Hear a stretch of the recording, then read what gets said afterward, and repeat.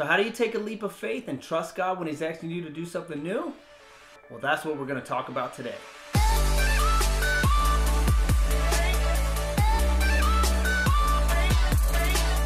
What's up, everybody? I'm Ronnie from Ronnie and Mel, and on this channel, we give you weekly tools and inspiration to help you find God and walk with Him in your daily life. So, if that's something you need, consider subscribing and don't forget to hit the notification bell so you never miss an episode. So, if you didn't hear, Mel started her own podcast and it's called Mornings with Mel. It's a Monday through Friday daily devotional for those seeking to know God, love Jesus, and live their life with Christ. Each episode, she takes a passage of scripture and teaches on it, and then she helps you apply it to your own life. They're only about 10 minutes long, so it's a great way to start off your day on the right foot. So, we wanted to give you guys our family here on YouTube a little taste of Mornings with Mel to see if you guys want to add it to your daily life with God. And if you enjoy it, make sure to subscribe and write her a review and be sure to share it with your friends. Without further ado, here's Mel's episode entitled When God Calls You Out of the Boat.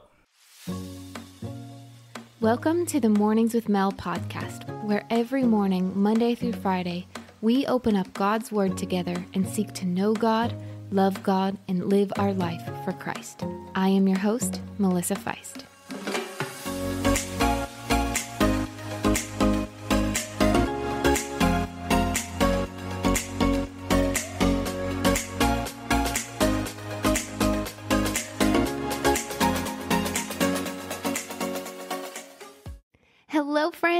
Welcome back to the Mornings with Mel podcast. And the passage that we're going to go through today is Matthew 14, 28 to 33. And I'm going to have to give you a little bit of backstory on this. So, what is happening in this passage is Jesus and the disciples were just up on this mountain. They were preaching all day, they were doing ministry to these crowds all day long. And Jesus told his disciples to get on the boat and go ahead before him. And instead, he went up on the mountain to pray. And so he was with his father. He was praying all night. His disciples, they're out in the sea, they're on the boat by themselves, and they're all sleeping. But when Jesus comes to them, he's walking on the water because that's just what Jesus does. He's God, he can do whatever he wants. He's walking on the water and they think that they're seeing a ghost. And so they're super afraid and they're like, Jesus, is that you? And he's like, Yeah, it's me. And so here is where we jump into the story. It says this Lord, if it's you, Peter answered him, command me to come to you on the water. And so Jesus says, Come. And climbing out of the boat, Peter started walking on the water and came towards Jesus. But when he saw the strength of the wind, he was afraid, and he began to sink and cry out, Lord, save me. And immediately Jesus reached out his hand, caught hold of him, and said to him, You of little faith, why did you doubt? And when they got into the boat, the wind ceased. Then those that were in the boat worshipped him and said, Truly, you are the Son of God. And I love this story. First off, I just love Peter. I don't know about you guys, but I so resonate with Peter and with his personality and with his watch me, Jesus, I'm going to be awesome for you. But then he just always comes up against his weakness and fails, but Jesus loves him anyway. That is me to a T. And so the first thing that I want to point out is that Peter is taking a huge leap of faith when he decides to jump out of the boat. Because think of it, if we want to consider what the boat represents, the boat is like our comfort zone. It's what we know, it's where we're comfortable, it's where in the physical we control everything and we don't have to worry about things. The boat is the place of our known secure safety. And a lot of us like that place.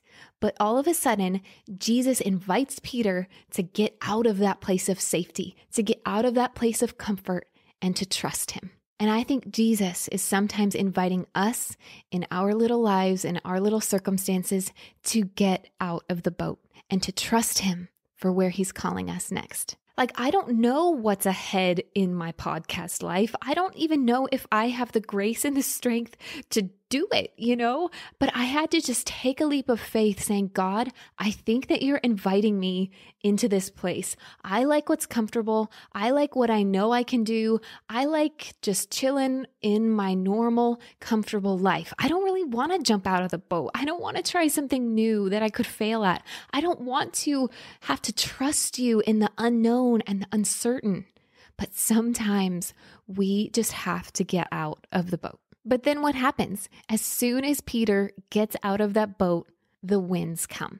And there's actually this quote, it's not in the Bible, so it's not technically biblical, but I think it's a true principle. It says, New levels, new devils. Meaning, as soon as you try and go to a new level of following God, of serving God, whatever it is, there are going to be things that come your way to test you to try and make you go back. And what did the winds do? It got him to stop focusing on the strength of Jesus and instead got focused on the strength of the wind. And because of it, he was afraid and he started drowning. And how often does that happen in our life? We take a leap of faith and we we try and do something for God or we, you know, try and start some ministry or start some podcast, whatever it is, we take a leap of faith and then something happens, some storm happens, some wind happens. And I don't know about you, but for me, my tendency is always to want to run back to the boat. Like, oh, this place is unknown and scary. And right now, all I can focus on is this wind that I don't like. Get me back to the place of safety. Get me back to the place that I know feels safe and comfortable. I don't like it out here. But instead of running back to the boat, Jesus is asking us to start reaching out to him because that's what Peter does. Once he's drowning, he finally calls out to the Lord and he says, Lord, save me. And immediately Jesus came and grabbed him out of the water. And I think sometimes we're drowning and we're trying to figure it out on our own. We're trying to like paddle and keep ourselves afloat when we could just say, Lord, help me.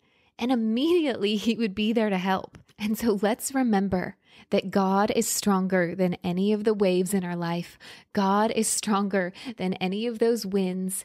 And that when we take a leap of faith and we get out of that boat, He's not going to let us drown. All we have to do is trust Him, keep our eyes on Him. And if we get distracted by the wind a little bit, guess what?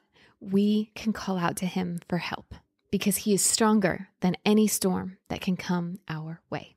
So, what's your story today? Is Jesus inviting you to get out of the boat, to take a leap of faith and trust Him in something that's unknown, something you haven't done before? Ask Him today if there's something that He's inviting you to trust Him in.